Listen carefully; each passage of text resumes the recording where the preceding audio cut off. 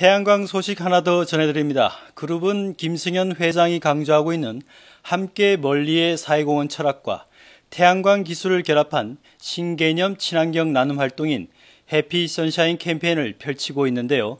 해피 선샤인 캠페인을 중국으로까지 확대해 빈곤 지역 초등학교에 태양광 발전 설비를 기증했습니다. 그룹이 중국 청소년 발전 기금회와 함께 중국 빈곤 지역 초등학교에 태양광 발전 설비를 기증하는 한화 희망공정 해피 선샤인 캠페인이 첫 번째 결실을 맺었습니다. 지난 17일 중국 후베이성 우평현 지역의 위안간천 초등학교에서 30kW 규모의 지붕형 태양광 발전 설비 설치를 완료하고 기증식을 가졌습니다. 지난 8월 30일 한화솔라온과 한화차이나는 중국 청소년 발전기금회의 희망공정 캠페인으로 세워진 빈곤 지역 초등학교에 태양광 발전 설비를 무상으로 설치해주기 위한 한화 희망공정 해피 선샤인 협약식을 체결한 바 있습니다.